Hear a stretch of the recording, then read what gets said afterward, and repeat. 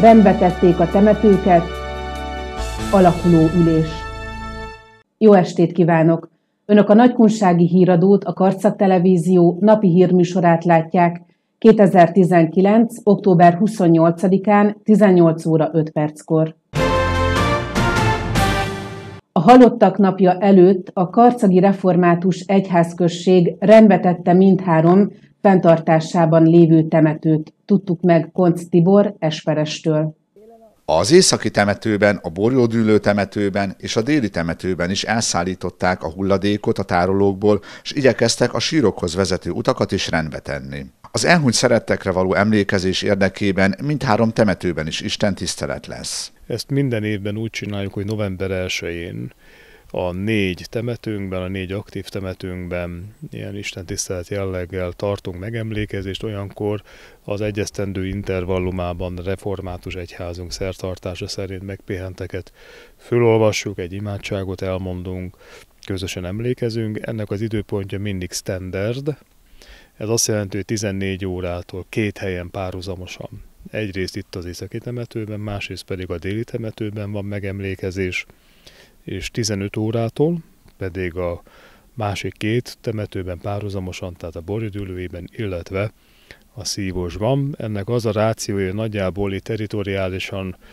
tudjuk, hogy ezek az északi részek hogy kötődnek össze, tehát itt az északi meg a borjudülői, van úgy párba állítva, és akkor a szívos és a déli, hiszen itt a város orientálódása megvan, persze vannak átfedések, éppen ezért az, aki az északiba szeretne jönni, annak ne legyen párhuzamosan a borüdülőben, mert lehet ott van a másik hozzátartozó, tehát így vannak felosztva. Egyébként pedig egy különleges helyzetben vagyunk, mert ilyen nem nagyon volt még, legalábbis én nem emlékszem rá, hogy ezek a, a gyászra, a a búcsúzásra, a temetésre utaló alkalmak ennyire fölfűződve legyenek, hiszen pénteken lesz november 1 ez a Mindenszentek, november 2 halottak napja, és november 3-án pedig a mi liturgiánk szerint, a mi agendánk szerint, a mi törvényünk szerint van a halottak, vagy másképpen a, a örökké valóságra váróknak a vasárnapja, vagy gyászolók vasárnapja. És akkor mind a három napot ilyen módon ezt föl fogjuk fűzni. Ez azt jelenti, hogy a gyülekezetünkben is lesznek megemlékezések, Isten tiszteletek, úgyhogy ezekre meg mindenkit hívunk szeretettel.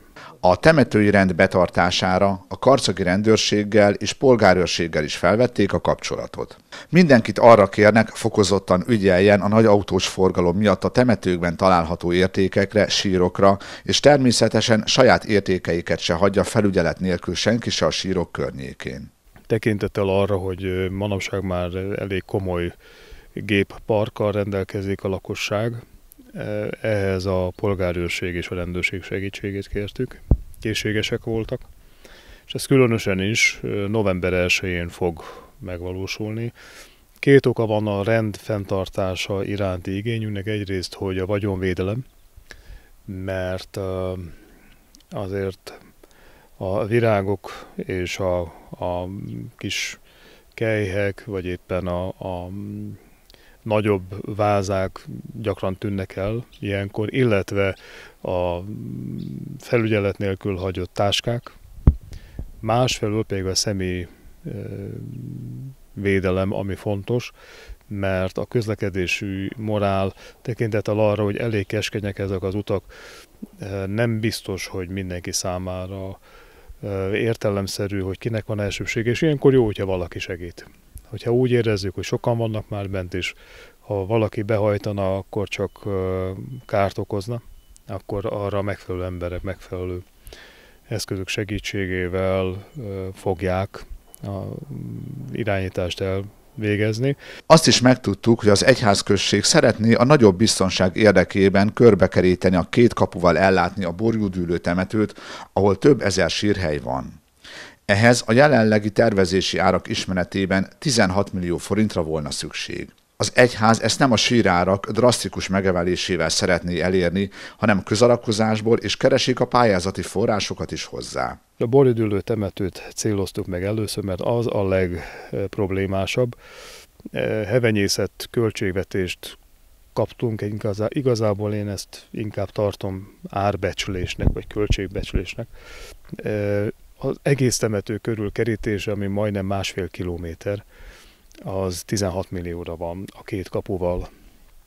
Na most megint mondom, számoljon mindenki, úgyhogy nincsen semmiféle bevétel. Ezt mi pontosabban a hozzátartozók adják össze, és ezt a bizonyos összeget kell most valahogy kigazdálkodni, úgyhogy már most kérem a segítséget. Meg fogjuk indítani egy gyűjtést. Úgy számoltam, hogy mivel olyan 5000-6000 sírhely van most nagyságrendileg a boridülői temetőben, hogyha mindenki 2000 forintot adna síronként, az már 10 millió. Nyilván a jó szándékú adakozók segítségével valahogy össze tudnánk hozni, és akkor egy temetővel meglennénk, de még mindig van három. Ráadásul a bolidülői temető nem a legnagyobb temetőnk. A déltemető kétszer akkora legalább, hanem két és félszer akkora, mint a bolidülői, és az azt jelenti, a nagyságrendileg, hogy 30 millió. Ha nincs pályázat, akkor megint az lesz, hogy a következő etapot ugyanígy meg fogunk hirdetni, ez a, a meghírelés ez elindul jövő hét, illetve azt követő időszakban.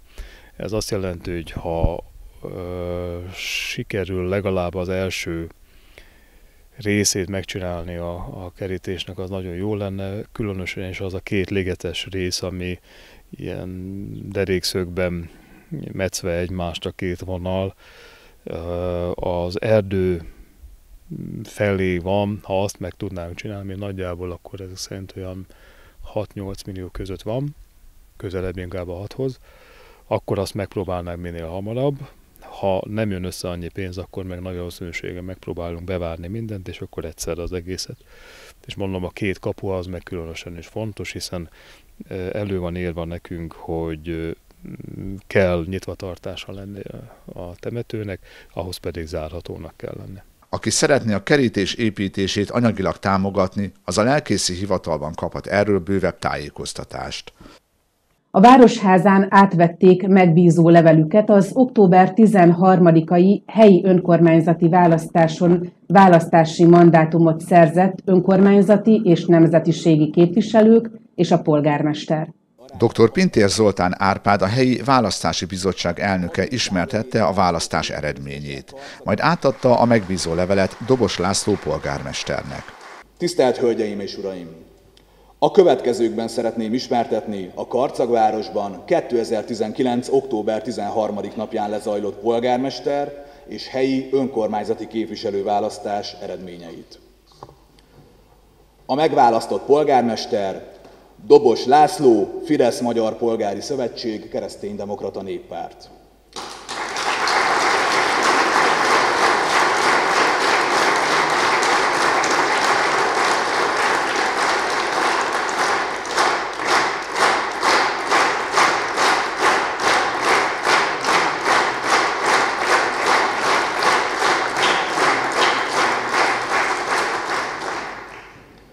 Polgármester úrra leadott érvényes szavazatok száma 4124 szavazat, az érvényes szavazatok aránya 67,23 század százalék. Az egyéni választókerületi képviselők következnek. Az első számú egyéni választókerületben választási győzelmet szerzett Molnár Pál, Fidesz Magyar Polgári Szövetség, Kereszténydemokrata Néppárt.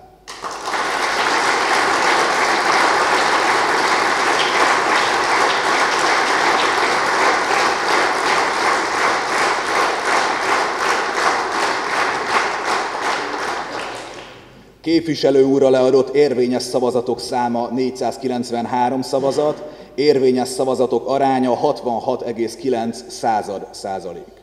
A második számú egyéni választókerület győztese dr. Kanász Nagy László, Fidesz Magyar Polgári Szövetség, Kereszténydemokrata Néppárt.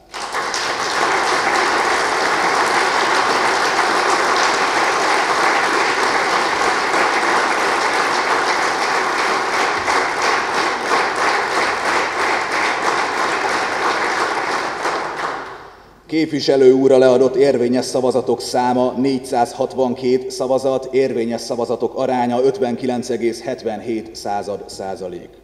A harmadik számú egyéni választókerület győztese Nagyné László Erzsébet, Fidesz Magyar Polgári Szövetség, Kereszténydemokrata Néppárt.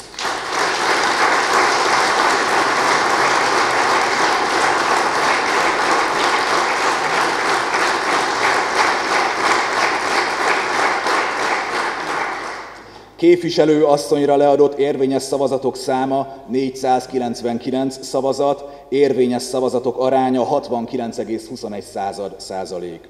A negyedik számú egyéni választókerületben győzött Gyurcsek János, Fidesz Magyar Polgári Szövetség, Kereszténydemokrata Néppárt.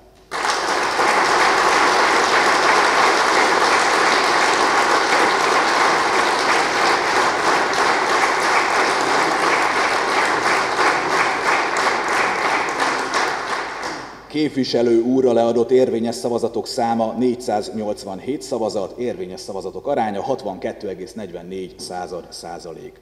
Az ötödik számú egyéni választókerület győztese Dobos László, Fidesz Magyar Polgári Szövetség, Kereszténydemokrata Néppárt.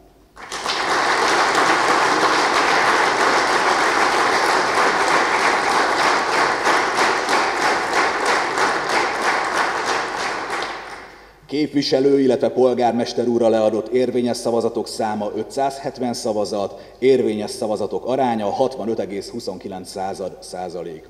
A hatodik számú egyéni választókerület győztese Karcagi Nagy Zoltán Imre, Fidesz Magyar Polgári Szövetség, Kereszténydemokrata Néppárt.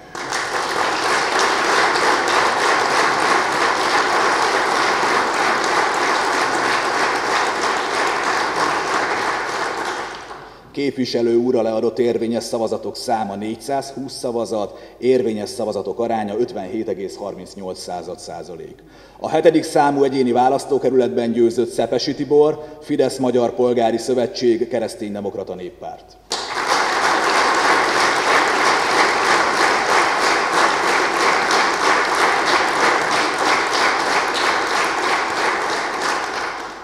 Képviselő úrra leadott érvényes szavazatok száma 446 szavazat, érvényes szavazatok aránya 67,37 század százalék. És végül a nyolcadik számú egyéni választókerületben győzelmet aratott Pánti Ildikó Anna, Fidesz Magyar Polgári Szövetség, Kereszténydemokrata Néppárt,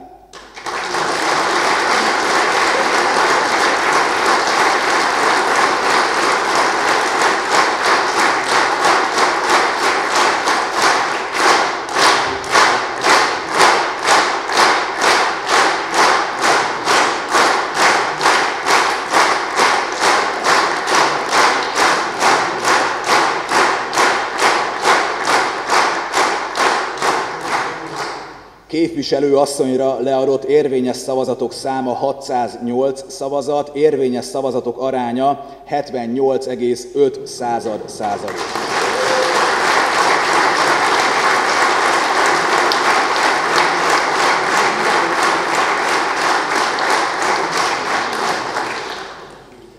A településen kompenzációs listáról három mandátum volt megszerezhető, kompenzációs listán megválasztott képviselők Andrási András Pál Jobbik Magyarországért mozgalom,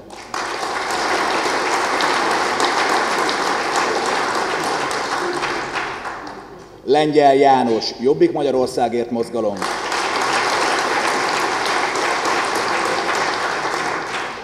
és Kozma Dániel Momentum mozgalom.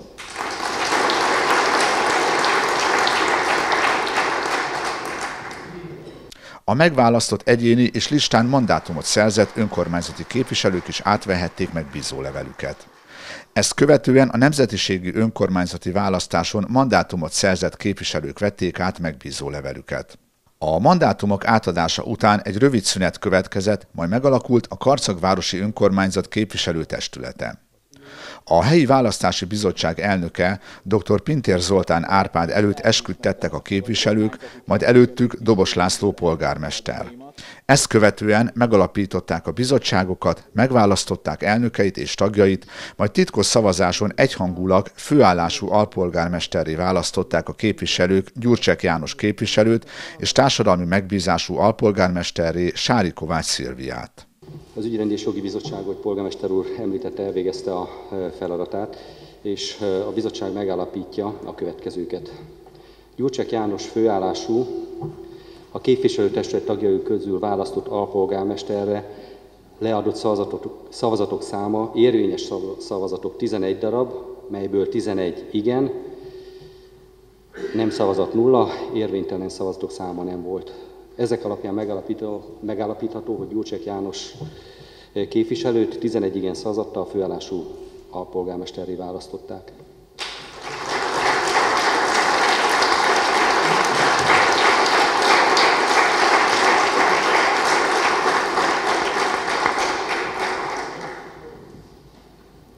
Sári Kovács Szilvia társadalmi megbízatású nem a képviselőtestület tagjai közül választott alpolgármester jelöltre leadott szavazatok a következők.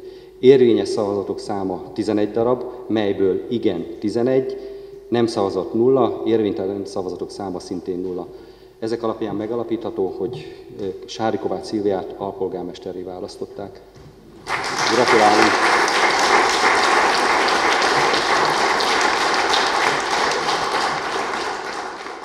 Az ülés végén dr. Fazekas Sándor és F. Kovács Sándor országgyűlési képviselők gratuláltak a megalakult testületnek. Dobos László polgármesternek, az alpolgármestereknek és jó munkát kívántak mindannyiuknak a város érdekében. Szívből gratulálok polgármester úrnak, az alpolgármestereknek, valamennyi megválasztott képviselőnek, Ebből az alkalomból öt évre olyan feladatot vállaltak, amely jól tudjuk, hogy nem könnyű, Karcag városért, a Nagypunság fővárosáért dolgozni. Sok sikert kívánok mindehez. És azt hiszem valamennyien köszönettel tartozunk a karcagi polgároknak, akik elmentek, szavaztak és döntöttek, és mindezt a feladatot, ami a magyar alaptörvény alapján és a vonatkozó törvények alapján az önkormányzatra hárul, azt a önök tisztelt jelenlévő képviselők vállaira helyezték. Dolgozzunk együtt a jövőben, én felajánlom az együttműködésemet, segítségemet, mint parlamenti képviselő, együtt karcagért. Sok sikert kívánok és jó egészséget. Köszönöm.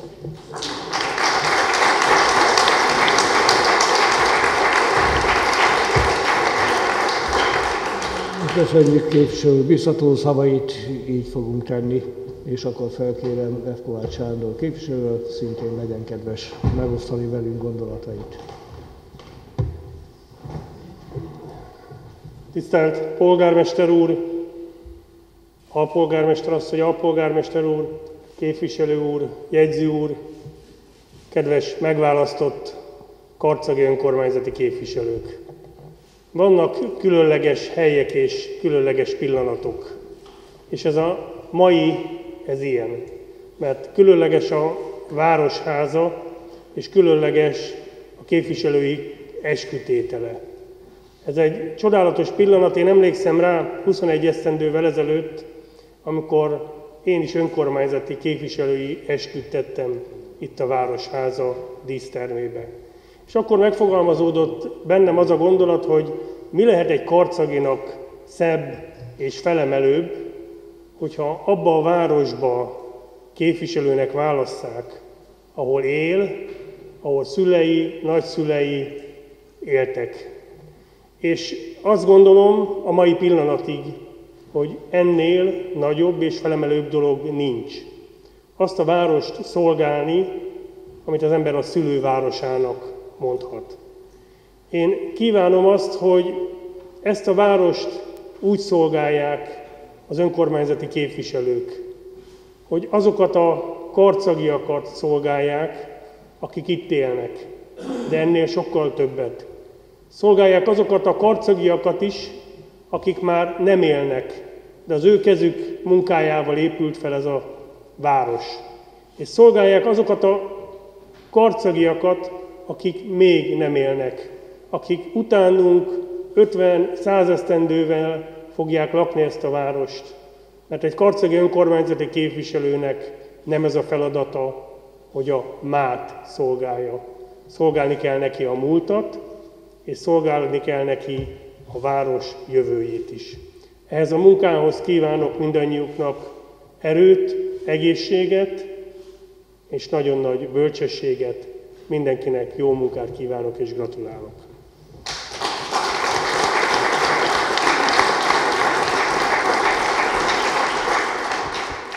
Kedves nézőink, Napi hírműsorunkat a nagykunsági híradót látták. Riportjainkat újra megnézhetik internetes felületünkön, a www.karcaktv.hu weblapon. Viszontlátásra!